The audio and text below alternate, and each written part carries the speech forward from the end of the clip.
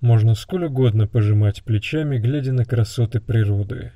А все же как много значит для народа иметь красивую, хотя бы бедную страну. Никогда я не понимал этого яснее, чем теперь, покидая родину. Фритьев Нансен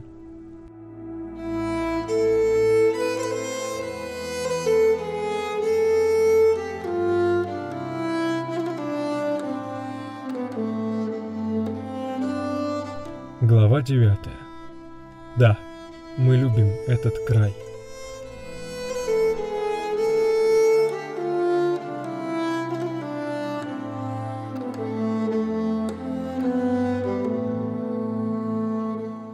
Последним самостоятельным королем Норвегии был Хакон V по прозвищу Хаулек или Длинноногой из рода Харальда Прекрасноволосого, основателя единого норвежского королевства. Хакон V был славным королем, но умер не оставив сыновей, равно как и его старший брат Эйрик II. И после естественного пресечения королевской династии в 1319 году корона перешла внуку Хакона, сыну его дочери Ингиборг, шведскому королю Магнусу II. С тех пор и вплоть до начала XIX века Норвегия обратилась в придаточную страну одного из своих скандинавских соседей – ее суверенитет то подтверждался и всячески оберегался датскими и шведскими королями, то, вопреки всем договорам и соглашениям, Норвегия не сводилась до статуса провинции, без права на свой совет, свою армию и свой флот.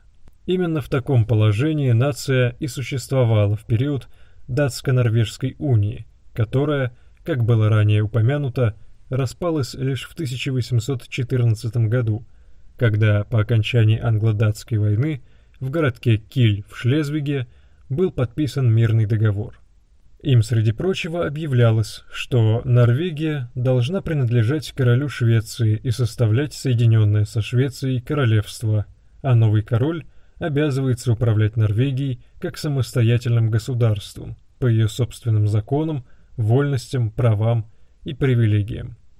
Регентом Норвегии в этот период был объявлен принц Кристиан Фредерик Датский, младший внук короля Дании Фредерика V, исправлявший с 1813 года должность наместника датской короны в Норвегии. Принц Кристиан отличался твердостью характера и сильной волей и не намеревался признавать переход Норвегии под власть шведов. Именно по его инициативе и был созван Национальный конгресс норвежцев 1814 года в Эйцволе – в котором участвовал двоюродный дед Фритьефа Нансена, граф Герман Ведель Ярлсберг, и где представлял он разработанный им совместно с еще 13 избранными членами Конгресса проект первой норвежской конституции. Она гарантировала Норвегии внутренний суверенитет и вверяла всю полноту власти норвежскому народу, который один лишь мог избирать членов парламента, облеченных властью законодательной, а королю, в свою очередь, отводилась лишь роль верховного арбитра государства – он один мог объявлять войну и заключать мир, накладывать с определенными ограничениями вето на законопроекты норвежского парламента и награждать подданных королевства государственными наградами, но лишался права жаловать норвежцам потомственное дворянство. Недемократично, знаете ли. Притом в короли полностью суверенной Норвегии на конгрессе в Эйцволе избрали того самого регента, принца Кристина Фредерика Датского, но великие державы того времени – в первую очередь Россия и Великобритания, определявшие всю европейскую политику после падения империи Наполеона, воспротестовали против вычленения Норвегии в независимое государство. Так что норвежцам пришлось смириться с тем, что их королем вновь стал монарх другой страны, король Швеции Карл XIII. Шведы же с первых дней провозглашения новой унии принялись с энтузиазмом нарушать все досточтимые предписания, принятые в Эйцволе норвежской конституции. Шведский кронпринц Карл Юхан систематически опротестовывал постановления норвежского парламента и пытался вмешаться в законодательную деятельность. Помимо того, в Норвегию, будто в колонию, назначили губернатора, как бы указывая норвежцам на их место в Союзе. Несмотря на все это, среди самих норвежцев находилось немало сторонников унии со Швецией, и, между прочим, в их числе был отец Фритьефа Нансена, Бальдур, и почти вся его родня. Еще в марте 1879 года, во время Большого собрания народных представителей в норвежской столице Крестьяне, на котором решался вопрос о норвежском флаге, который с 1844 года имел в верхнем углу древка значок Шведско-Норвежской унии, Бальдур Нансен вступил в жесточайшую полемику с писателем Бьерн Стьерне Бьернсоном.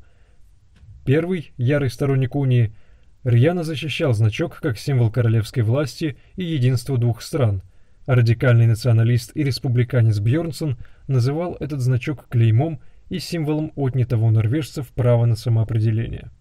Младший брат Фритьефа, Александр Нансен, в студенческие годы входил в кружок молодых юнионистов, устраивавших демонстрации в поддержку союза со Швецией, а на последних курсах даже возглавлял его. Сам же Нансен, хоть и был вовлечен своим отцом в некоторые политические процессы, оставался скорее сторонним наблюдателем. Наука занимала его гораздо больше, чем флаги, короли и конституционные вопросы. Но по мере увеличения количества противоречий между норвежцами и шведами, выходившими далеко за пределы парламентов и кабинетов, Фритьев стал вникать в политику. Вопрос о предоставлении Норвегии права открытия собственных консульств, независимых от шведских дипломатических органов, впервые был поднят еще во время подготовки Нансеном его экспедиции на Фраме в начале 1890-х годов. Именно тогда Нансен, превосходно владевший английским языком и пользуясь уже довольно широкой после успеха гренландской экспедиции славой, взялся за поддержание облика Норвегии в глазах мировой общественности и опубликовал в английской газете «Таймс» ряд статей, разъяснявших англоязычной публике статус его родины в шведско-норвежской унии. Они, нужно сказать, произвели впечатление даже на самые консервативные круги британского общества, до того воспринимавшие Норвегию как скандинавскую Ирландию – не более чем мятежную провинцию, населенную непонятным сбродом. Уже по возвращении Фрама, когда имя Фритьефа Нансена было на устах у всей читающей публики от Владивостока до Сан-Франциско и от Веллингтона до Готхуба, правительство Норвегии не могло упустить шанса привлечь эту самую настоящую рок-звезду, за консультациями которой едут в предместье крестьяне и ученые со всех уголков земли, к продвижению идеи норвежской независимости. Как писала в своих мемуарах дочь Фритьефа, Лив Нансен. Политикам отца сделали время и обстоятельства. Сам он предпочел бы целиком посвятить себя научной работе, и отнюдь нечистолюбивые замыслы заставили его принять деятельное участие в борьбе за расторжение унии, а затем создание первой конституции независимой Норвегии. В 1898 году Фритьев Нансен отправляется с лекцией о результатах своей полярной экспедиции в Санкт-Петербург, где получает аудиенцию – у императора Всероссийского Николая II. С ним, по просьбе премьер-министра Норвегии Йоханнеса Стеена, Нансен пытался обсуждать нейтральный статус своей родины в случае гипотетического шведско-российского вооруженного конфликта, а также предлагал пересмотреть российско-шведские торговые соглашения в пользу расширения прямой торговли Петербурга с Христианией, и по этому вопросу встречался с министром финансов Российской империи Сергеем Юльевичем Витте. Нужно сказать, что, по словам самого Нансена, переговоры завершились не лучшим образом, и некоторое время после он высказывал опасения по поводу устроенной за ним российскими властями слежки. Пройдет еще почти 20 лет, прежде чем глава британской секретной разведывательной службы, адмирал сэр Мэнсфилд Смит Каминг, обратится к Фритьофу с просьбой о помощи в подготовке плана эвакуации, переведенной в Тобольск семьи отрекшегося императора Николая II через Сибирь в Великобританию – но на этом факте, едва выходящем за рамки популярных басен о чудесных спасениях семьи Романовых от большевистской расправы, мы поговорим позднее. В том же 1898 году Фритьев Нансен вновь публикует в «Таймс» статью о конституционном положении Норвегии и о правах и обязанностях короля Швеции и Норвегии, согласно этому документу. Поводом к публикации послужил новый виток шведско-норвежского противостояния – Парламент Норвегии в третий раз принял в первом чтении закон об избавлении национального флага от значка унии, и на этот закон в третий же раз было наложено королем Оскаром II вето. Тем не менее, согласно норвежской конституции, закон, принятый парламентом трижды, пусть и без санкции короля, вступает в силу без всяких условий, но его шведско-норвежское величество наотрез отказался признавать легитимность этого постановления, а кронпринц Густав, периодически принимавший на себя полномочия главы государства, в ответ на оскорбительное для Швеции стремление норвежцев к изменению своего флага, объявил, что на грядущей мирной конференции в Гааге унию будет представлять один общий кандидат швед. После этого объявления кронпринц нанес визит в норвежскую столицу Крестьянию, где был встречен массовой антишведской демонстрацией. Нансен, окончательно принявший на себя обязанности толкователя шведско-норвежских отношений миру, сумел привлечь на сторону норвежцев широкие общественные массы за границу, что способствовало и большему росту популярности его на родине. В том же 1898 Нансен согласился позировать своему соседу-художнику Эрику Вереншолю, работавшему над иллюстрированным изданием древнескандинавской саги об Олафе Трюгвассоне – повествующий о жизни и приключениях древненорвежского конунга Олафа I, объездившего полсвета перед тем, как вернуть себе престол своего прадеда, короля Харальда Прекрасноволосого. Именно Олафа Трюгвассона и изображал для Вереншоля Фритьев Нансен, настоящий викинг среди норвежцев. В начале 1905 года кабинетом норвежского премьер-министра Георга Франсиса Хагерупа вновь был поднят вопрос об учреждении независимых норвежских консульств – но после череды столкновений с королем Оскаром II Хагеруп подал в отставку, и его пост занял бывший мэр Бергена и бывший министр финансов Норвегии Кристиан Микельсон. В первом же своем обращении к кабинету и парламенту он подчеркнул, что главной целью его правительства станет расторжение унии и обретение Норвегии полной независимости. На эти события Фритьев Нансен откликнулся циклом из пяти статей, вышедших в популярном ежедневнике «Верденсганг», под заголовками «Наш путь», «Мужчины», «Мужество», «Легкомыслие» и «Воля». Уже по одним этим заголовкам ясна позиция Нансена. К тому времени он не просто твердо стоит на независимости Норвегии, но и соглашается с бывшим оппонентом своего отца, Бьернстерне Бьернсоном, в том, что лучшей формой правления для страны станет республика. В день, когда в усадебном доме Нансенов в Пульхёгда раздался телефонный звонок, Нансен узнал, что регент Швеции и Норвегии кронпринц Густав наложил вето на законопроект парламента об учреждении норвежской консульской службы, и в ответ на это премьер-министр Микельсон подал в отставку. Но попытки сформировать новый кабинет ни к чему не привели, и кронпринц Густав отклонил отставку Микельсона, так что последний остался в должности и теперь приглашал легендарного полярника к себе в кабинет. В этот момент решается судьба всей норвежской нации, и страна как никогда нуждается в своих героях, господин Нансен», — доносился из трубки голос премьер-министра Микельсона. «Вы же знаете мое отношение к государственной службе, господин премьер-министр. Этот разговор не приведет ни к чему новому.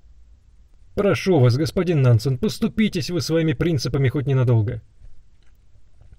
«Нет, ваше превосходительство. Любого вида иную поддержку вы от меня получите», но от своих слов я не отказываюсь ни при каких обстоятельствах. Да, чтобы заступить на государственную службу, который так настойчиво уже не первую неделю склонял Нансена Кристиан Микельсон, нашему герою необходимо было вернуться в лоно норвежской церкви, что шло вразрез с его атеистическими убеждениями. Человек, переставший быть честным самим собой, уже ни с кем никогда не сможет быть честным, считал Нансен. Это было еще одно его кредо. Даже о своих изменах он всегда честно и открыто признавался супруге, считая их не предательством, а скорее справлением физиологических потребностей, а настоящим преступлением воспринимая вранье и лицемерие. Возможно, по этой причине Ева всегда прощала Фритьефа, хотя страдала от этого не меньше. Да, стать официальным государственным служащим Фритьев Нансен не мог, но согласился употребить всю свою международную известность для достижения независимости его родной Норвегии. С поручением премьер-министра Кристиана Микельсона в марте 1905 Нансен отправился в Берлин, а сразу после – в Лондон, где выступал в университетах, на светских раутах и где только мог еще, представляя в самом выгодном свете действия норвежского правительства и всячески склоняя представителей германского и британского высшего света на сторону Норвегии в назревающем конфликте. Нужно сказать, что в Англии Нансена приняли намного лучше, чем в Германии. Нужно полагать, благодаря его многократным публикациям в «Таймс». А 17 мая того же года 43-летний профессор выступил перед огромной демонстрацией на главной площади Крестьянии, заявив, приветствовавшей его ликованием толпе. «Теперь мы поняли. Что бы ни случилось, мы должны и будем защищать нашу самостоятельность и право на самоопределение в своих собственных делах. Мы должны отстоять наше право или умереть за него». В это время кронпринц Густав, регент Швеции и Норвегии, не смог назначить нового премьер-министра и отказал в отставке Микельсону. Согласно Конституции Норвегии, это означало, что король, которым все еще формально был отец Густава Оскар II, утратил возможность управления страной и должен был быть незложен. За это и проголосовал норвежский парламент. Вот он, тот самый решающий момент, о котором говорил Микельсон – 7 июня 1905 года правительство Норвегии объявило о принятии на себя тех полномочий, коими был до этого наделен лишь король, а парламент отправил в Стокгольм разъяснение случившегося, сопроводив его письмом за подписью премьер-министра Микельсона с просьбой к одному из принцев шведских, не находящихся в прямой линии наследования престола, стать суверенным королем независимой Норвегии. Послание норвежского Стортинга исчерпывающим образом объясняло и доносило до короля Швеции мысль о том, что Норвегия не собирается враждовать со Швецией, а все нынешние действия ее правительства законны и конституционны. Они обусловлены невозможностью короля дать стране законное правительство и невозможностью правительству, не желающему исполнять свои обязанности в этих условиях, выйти в отставку. Король Оскар II, получив это послание, пришел в ярость и ответил жестким отказом на просьбу норвежского парламента назначить стране нового монарха. На следующий день Фритьев Нансен отправил в «Таймс» новую статью, в которой в том же сдержанном тоне университетского профессора разъяснял англоязычной аудитории события, происходящие в Норвегии. Если бы такие страны, как Великобритания и Россия, заняли прошведскую позицию в этом конфликте, о независимости можно было бы забыть. На самом деле, легитимность действий норвежского правительства и парламента является предметом дискуссии, и рассматривая эту историю, крайне легко можно попасть под воздействие эмоций. Пишите в комментариях, если хотели бы узнать об истории Норвегии и ее взаимоотношений со скандинавскими соседями больше. Возможно, это стоит обособить в отдельную тему. Когда стало ясно, что из числа шведских принцев суверенного короля для Норвегии не найти, Микельсон попросил Нансена поехать в Копенгаген. Именно там жил запасной кандидат на норвежский престол, которого рассматривало правительство как раз на случай отказа Оскара II уступить корону одному из своих младших сыновей или внуков. 32-летний принц Кристиан Фредерик Карл Георг Вальдемар Аксель Датский, или просто принц Карл. Младший сын датского кронпринца Фредерика, внук короля Дании Кристина IX по линии отца и короля Швеции и Норвегии Карла XV по линии матери – Одна его тетушка, Александра, в тот момент была королевой-консортом Великобритании, и на ее дочери, принцессе Мод Великобританской, своей кузине, принц Карл был женат уже почти 10 лет. Кузеном Карлу приходился император Всероссийской Николай II, а его дядя царствовал как король греков Георг I. Но последнее обстоятельство было скорее негативным. Греция уже в те времена была черной дырой, поглощавшей кредитные деньги и не выдававшей ничего взамен. Тем не менее, сравнительно молодой принц Карл виделся идеальным кандидатом в норвежские короли. Разносторонне образованный морской офицер, участвовавший в экспедициях по Атлантике и Средиземному морю, воспитанный в строгой христианской морали и сдержанности, главные черты датского королевского дома. К тому же, обладающий крепкими связями с британской королевской семьей и способный моментально склонить эту великую державу к признанию суверенитета Норвегии в случае объявления его королем. Незадолго до своей миссии в Копенгаген республиканец Нансен несколько раз вступал в дебаты с Сигурдом Ипсоном, тем самым сыном Хенрика Ипсона, которому отказали в профессорской мантии Университета Крестьяне. Ипсон, несмотря ни на что, был человеком эрудированным и здраво рассуждал, что лишь в случае провозглашения Норвегии независимым королевством страна может рассчитывать на международное признание распада унии. Ежели Норвегия станет республикой, говорил он, Лучшее, чего мы можем ожидать – международная изоляция. Слова Ипсона произвели впечатление на Нансена и не только на него. Кристиан Микельсон также был более склонен к республике. Тем не менее, спустя время сторону монархии заняли и они с Нансеном, и даже завзятый радикал Бьернсон. Так что в Копенгаген Фритьев Нансен прибыл с ясным намерением – вернуться в Норвегию с королем. Он именно тот человек и именно тех либеральных взглядов, которые подходят для норвежского трона – И все-таки он продолжал стоять на том, что в таком важном вопросе должен высказаться лишь народ, и заметил, что в этом деле он более либерален, чем я. Описывал Фритьев Нансен свои впечатления от переговоров с принцем Карлом Датским.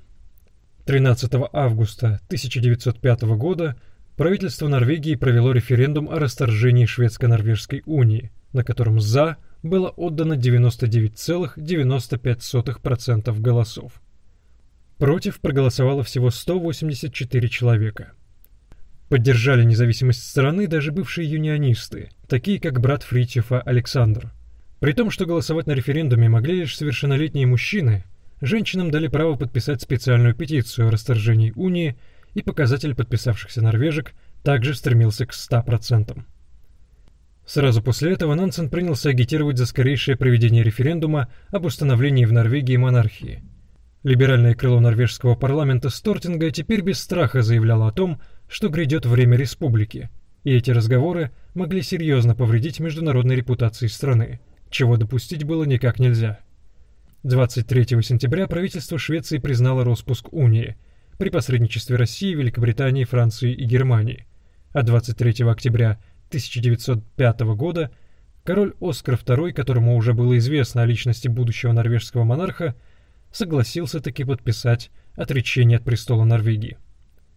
Референдум об установлении в стране новой, наследственной, конституционной, парламентской монархии был проведен в два дня – 12 и 13 сентября. И на референдуме этом норвежцам предлагалось опустить в деревянные ящики одну из двух карточек.